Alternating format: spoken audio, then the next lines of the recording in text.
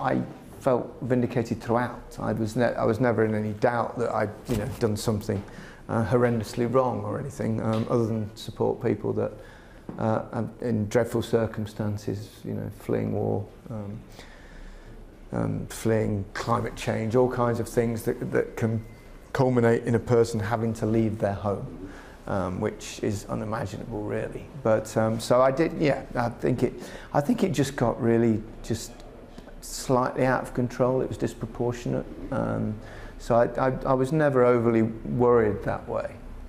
And does it make you, again, this, do you now feel almost more em, empowered and emboldened to now speak out even more on this subject than you have done previously? Well, I am a little bit the kind of person that if I'm told not to do something, then I'll do it. Maybe it will drive me to do it even further. But um, no, I'll, I'll continue to, to speak out. I've always had I had an agreement with um, the BBC that I would um, continue to to talk about the refugee cause and and climate change, two things that are very important to me. Um, that I've been involved with um, campaigning and such like for, for a number of years. So. Um, I will continue to do that. Um, obviously, sometimes people will say that crosses a political line a little bit, but I, you know, almost everything does in life, um, and that includes football as well. You know, people say stick to football, stay out of politics. Well, they're kind of entwined. Um, so yeah, I'll carry on. But do you understand why people do say, you know, as the highest paid member at the BBC, as a TV presenter, you shouldn't be crossing that line to politics because of your position and, and where you work? Well, people are entitled to their opinion, um, but I don't see how much someone's salary is, um, is relevant in any way, shape, or form as to whether you have an opinion or not. I, I absolutely value their right to freedom of speech, um, but most of the people that you know, champion freedom of speech um, only do so um, until they disagree with you, and then they, they don't campaign. But so very much. But you know, that people will have their views. Um, you know, I'm a I'm a freelance sports person. I mean, I don't see how that is is an issue at all with having views about the refugee crisis. Because confu- the confusion seems to be that as a BBC uh, employee, albeit a freelancer, you're not allowed to have political views. But was that was that well, misunderstood? I, well, I, I, I disagree um, because um, it's only really ever applied to news and current affairs, and obviously um, that's been they've tried to change that in recent times to a degree, but they're only guidelines.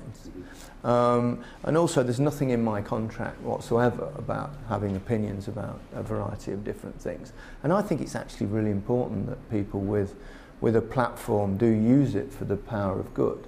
I feel like I'm careful anyway. Nobody knows who I vote for. I've never told anyone who to vote for um, in terms of in general elections or anything like that. Nobody really knows my politics. In fact, I'm your archetypal floating voter. On politics, we know that you wasn't a fan of uh, the Home Secretary, Suella Braverman's um, take on when she said, you know, I dream of the day when I get to see um, uh, migrants on a plane shipped off to, to Rwanda. She recently said that she also thinks that white people shouldn't be guilted in um, feeling bad about historical slavery and racism. What do you think she's trying to achieve with these sorts of statements? And, and, and what's your view on where she's trying to go with, with this sort of narrative? Um, well, I can't speak for, for, for her, um, obviously, and also this does clearly cross into a political area where it's talking about the government. I disagree with their policy. I think most people do. I don't know whether it will actually be even legal. Um, we'll see if anyone ever does actually go there. Um, but yeah, for me, it's more about the language that's sometimes used generally across the board. So, you know, when they when they use words like um, kind of criminals and rapists and invasions and swarms, that's what I'm. All I was asking for is a little bit of kindness. I, uh, getting onto you know absolute certain politicians is not an area where I, you know, that's where I do understand where I think the lines are. On the BBC. Can I ask you if you think that the Director General, his position was weakened by the situation with what you tweeted and the suspension? And because a lot of people rallied at the BBC behind you, do you think it significantly weakened his role? I don't think so.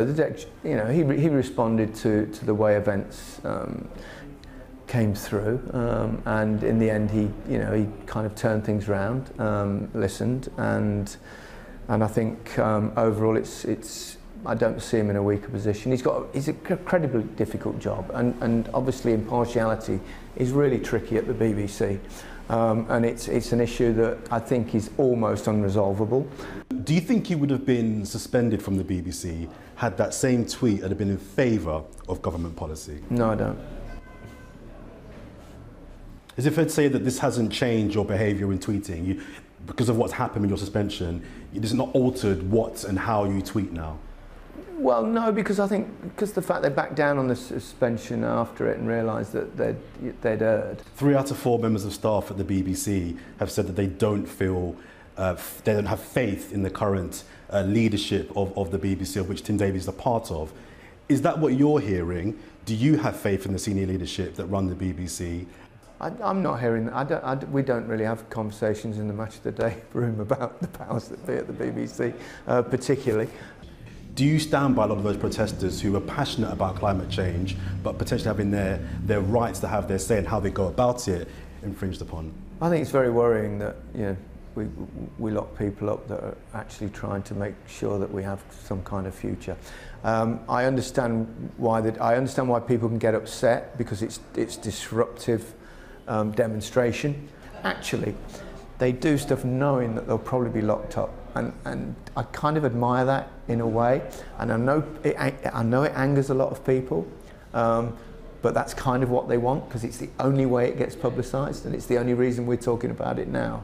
And I think that's important. And I think in, if we manage to save this, like save the, human race um, from 50 years or 100 years time and we still exist, they'll look back on these and they'll look back on people like that and Greta Thunberg and people like that that have made a real difference, and they might well be the heroes.